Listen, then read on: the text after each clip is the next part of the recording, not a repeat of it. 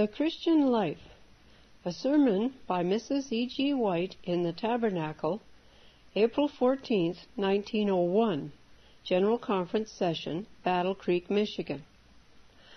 Lay not up for yourselves treasures upon earth, where moth and rust doth corrupt, and where thieves break through and steal. But lay up for yourselves treasure in heaven, where neither moth nor rust doth corrupt, and where thieves do not break through nor steal. For where your treasure is, there will your heart be also. The light of the body is the eye. If therefore thine eye be single, thy whole body shall be full of light. But if thine eye be evil, thy whole body shall be full of darkness. If therefore the light that is in thee be darkness, how great is that darkness? Matthew 6:19 to 23. Christ is the light of the world. In all that we do, let us walk in this light. In the Word of God, our work is laid out before us. Let us not think that the Lord has given us talents to use in whatever way we please. Our talents are given to hold in trust for Him. Our money is His. In its use, we are to remember that Christ gave His precious life that we may have a probation in which to make a suitable preparation for the future life. Ye are not your own, for ye are bought with a price. Therefore glorify God in your body and in your spirit, which are God's. 1 Corinthians 6:19 to 20. This present life is our time of test and trial. God placed Adam and Eve in the beautiful Garden of Eden, saying to them, Of every tree in the garden thou mayest freely eat. But there was one prohibition.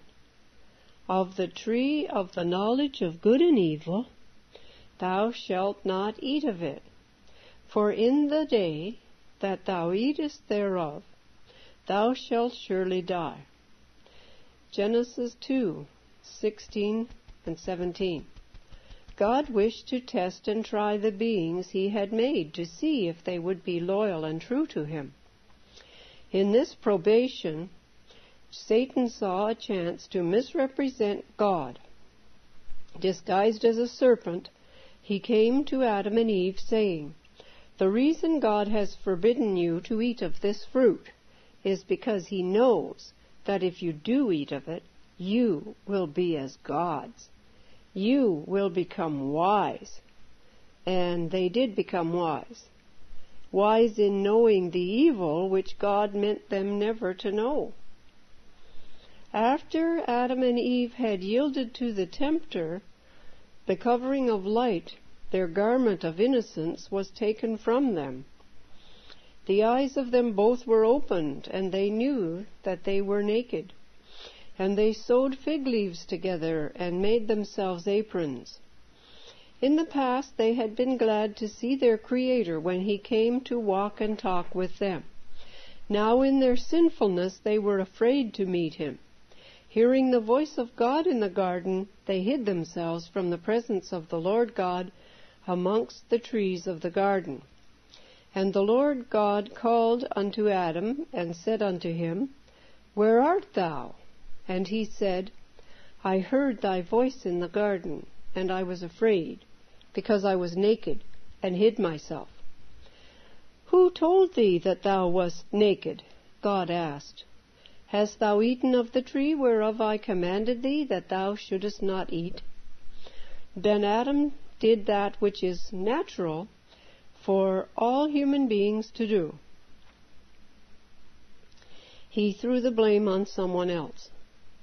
The woman which thou gavest to be with me, he said, she gave me of the tree, and I did eat. See Genesis 3 7 to 12. God told Adam that because of his disobedience the ground should be cursed. In sorrow shalt thou eat of it all the days of thy life. Thorns also and thistles shall it bring forth unto thee. In the sweat of thy face shalt thou eat bread, till thou return to unto the ground, for out of it wast thou taken, for dust thou art, and unto dust shalt thou return. Genesis 3:17 to 19. The floodgates of woe were opened upon our world. All nature must feel the effects of sin. But God did not leave Adam without a ray of hope. He gave him the promise which ever since has brightened the pathway of the faithful. He said to the serpent, I will put enmity between thee and the woman, and between thy seed and her seed. It shall bruise thy head, and thou shalt bruise his heel.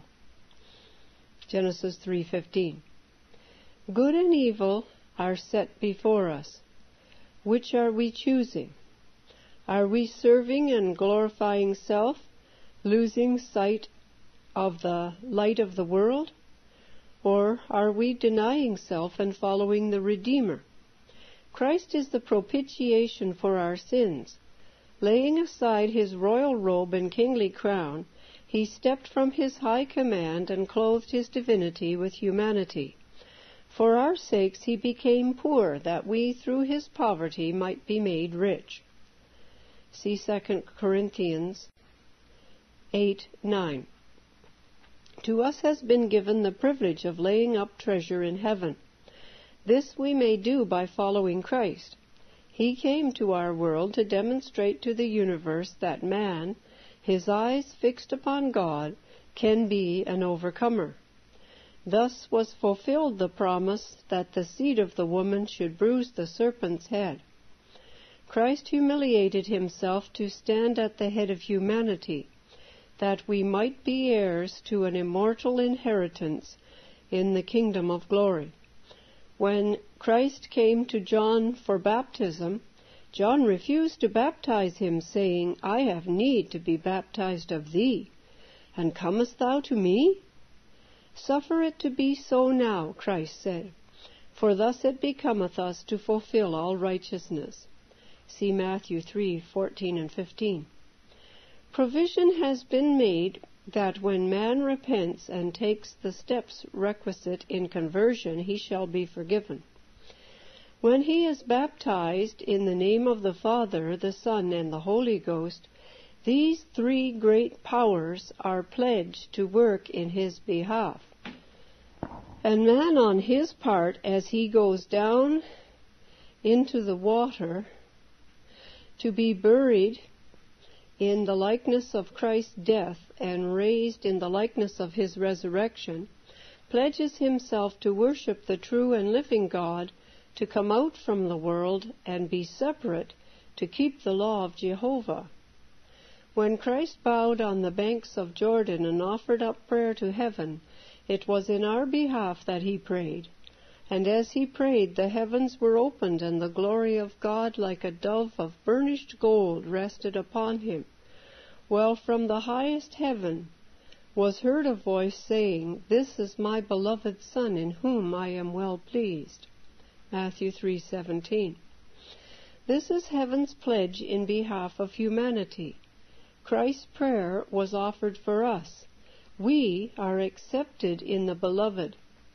What an incentive this should be to us to strive earnestly and perseveringly to please our Savior, to live so that He shall not have died for us in vain.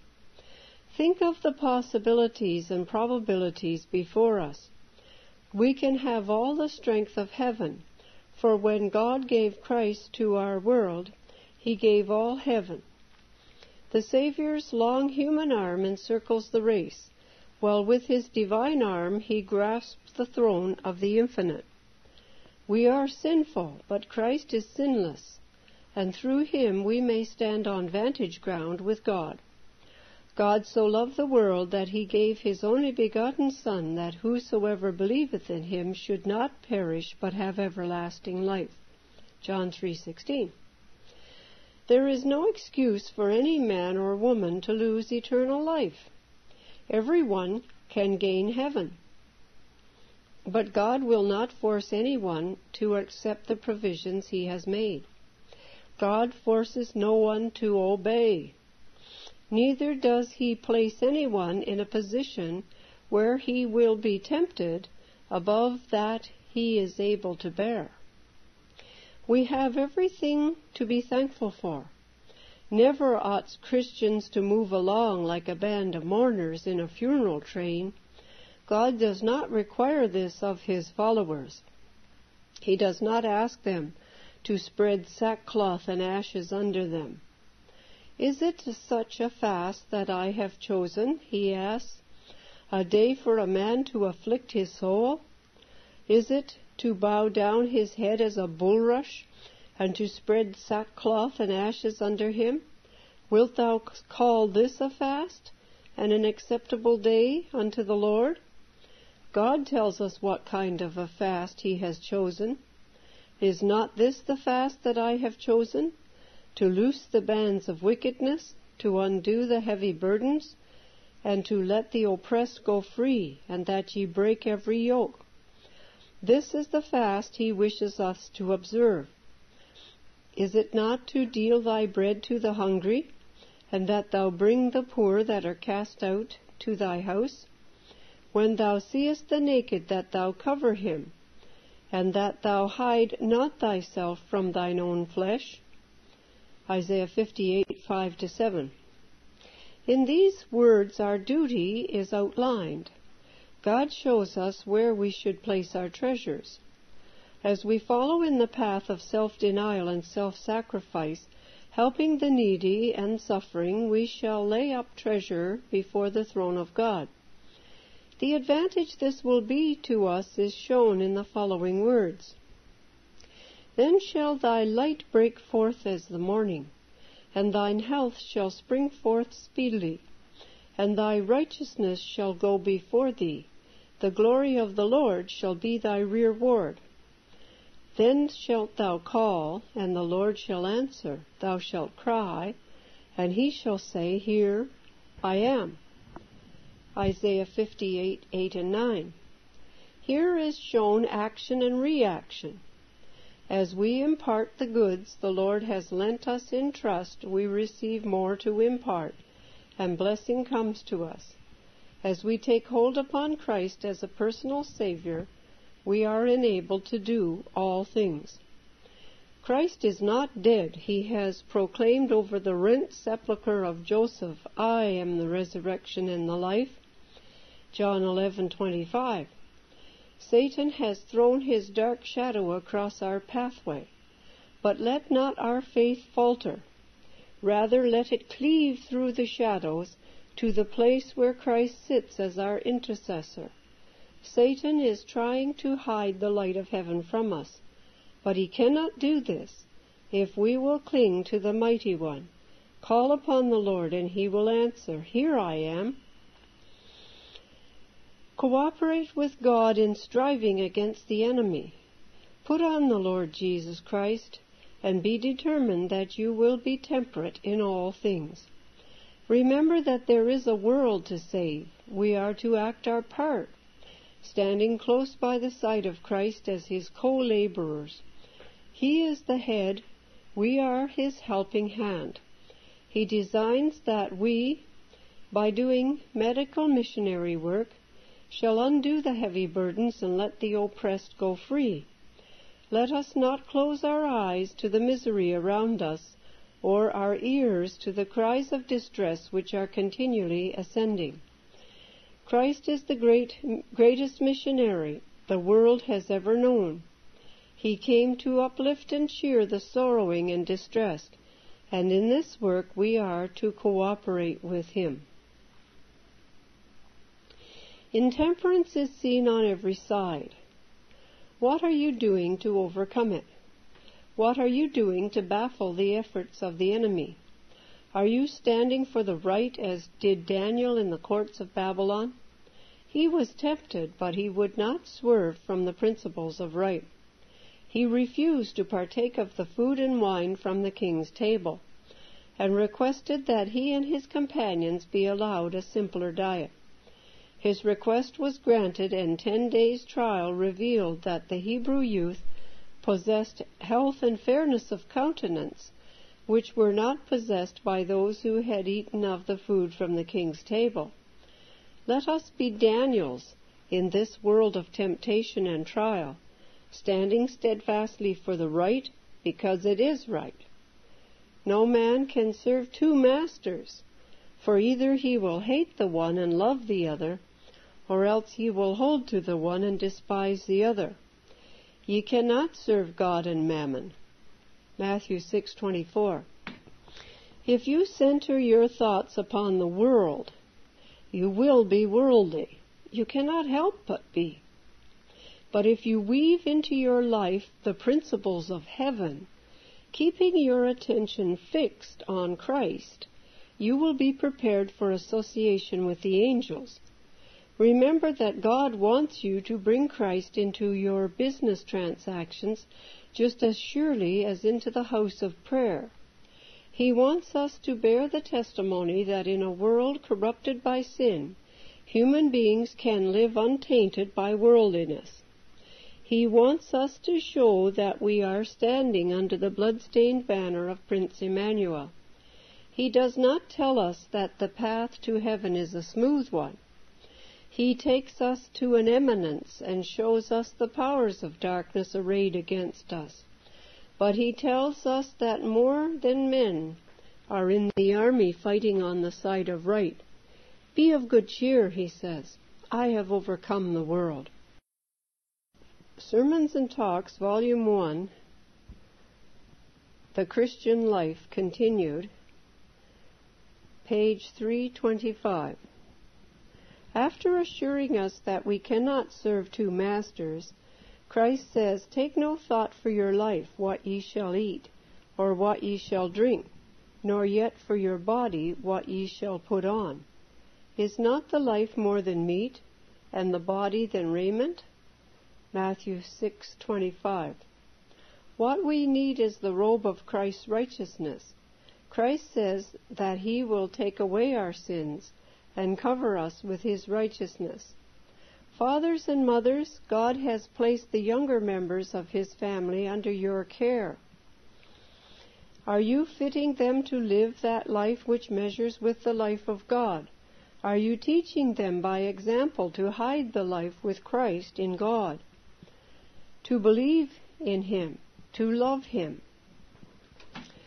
God said of Abraham, I know him, that he will command his children and his household after him, and they shall keep the way of the Lord to do justice and judgment. Genesis 18:19. Now, as then, this is what God requires from parents. He wants them to educate their children in such a way that when they go forth into the world, they will resist the temptations which beset them on every side. Parents, God desires you to make your family a sample of the family in heaven. Guard your children. Be kind and tender with them. Father, mother, and children are to be joined together with the golden links of love. One well ordered, well disciplined family is a greater power in demonstrating the efficiency of Christianity than all the sermons in the world. When fathers and mothers realize how their children copy them, they will watch carefully every word and gesture. Educate your children from their babyhood to be cheerful and obedient. Teach them to help you. Tell them that they are a part of the firm and that you need their help so that you will be spared to care for them. Oh, say some mothers, my children bother me when they try to help me. So did mine, but do you think I let them know it? Praise your children. Teach them, line upon line, precept upon precept. This is better than reading novels, better than making calls, better than following the fashions of the world. We shall go through this life but once. We cannot afford to fail of reaching the goal for which Christ has told us to strive. Do you teach your children to pray? It pays to be a praying household. The world is given up to horse racing and games. Are you teaching your children to run with patience the race for the crown of life? Those who run in the races of this world are temperate in all things, knowing that if they succeed, they must keep the powers of the body in the best condition. How important then that those who are running the race for immortality be temperate in all things, that they may serve God acceptably. Close the windows of the soul earthward and open them heavenward. If you let the bright beams of the Sun of Righteousness flood the soul temple, you will not be cross or irritable in your home. If you put away from you tobacco and liquor, and all that tends of intemperance, the Lord will help you to be cheerful and serene. He does not want us to live on the flesh of animals. He has something better for us, fruits and grains. He wants us to be strictly temperate. He wants us to teach our children to be temperate, to practice self-denial. Let us make straight paths for our feet, lest the lame be turned out of the way. If we allow our children to associate with evil companions, they will by beholding become changed. They will lose the sense of repulsion to evil. Let us do all in our power to keep them from the evil that is in the world. Some years ago, while rowing on Lake Goguac with my husband, we saw a beautiful lily. I asked my husband to get it for me and to pluck it with as long a stem as he could. He did so, and I examined it. In the stem was a channel through which flowed the nourishment best suited to the development of the lily. This nourishment it took, refusing the vileness with which it was surrounded. It had a connection with the sand far below the surface, and from there drew the sustenance which caused it to develop its loveliness. Christ says, Consider the lilies of the field, how they grow. They toil not, neither do they spin. Yet I say unto you, that even Solomon in all his glory was not arrayed like one of these. Matthew 6:28 and 29. No artist can produce the beautiful tints which God gives to the flowers. Wherefore, if God so clothe the grass of the field, which today is and tomorrow is cast into the oven, shall he not much more clothe you, O ye of little faith? Matthew 6:30. Nature is our lesson book. Christ used the objects of nature to impress truth on the minds of his hearers. Let us point our children to these things.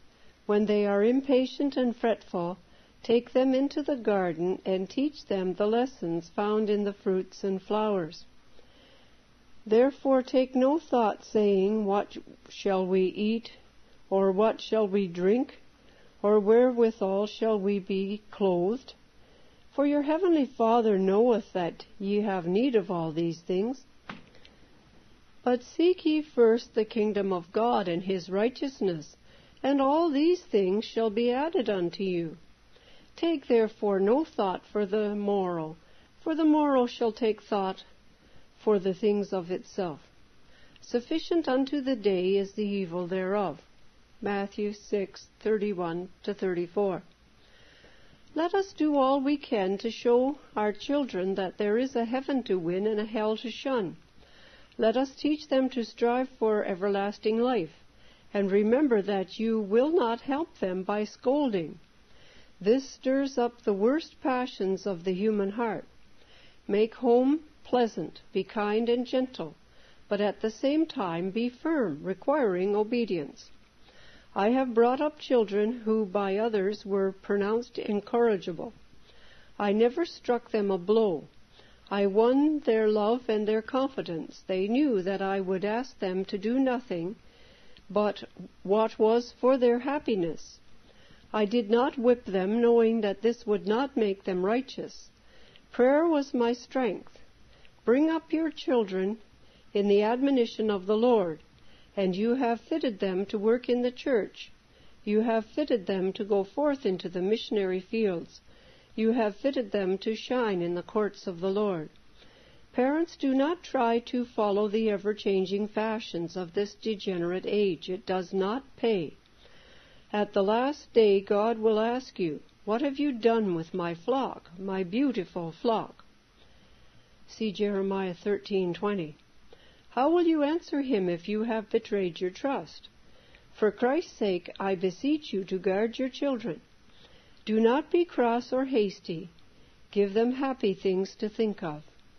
Christ gave his life for our children and for us, because he desired us to form characters after the divine similitude, that we may enter in through the gates into the holy city, and hear from the divine lips the benediction, Well done, good and faithful servant. Enter thou into the joy of thy Lord. Matthew 25:23. Do you not want to hear those words? Strive with all the power God has given you to gain the crown of everlasting life, that you may cast it at the feet of the Redeemer, and touching the golden harp, fill all heaven with rich music. God help you to gain eternal life, that you may see his face. Manuscript 31, 1901.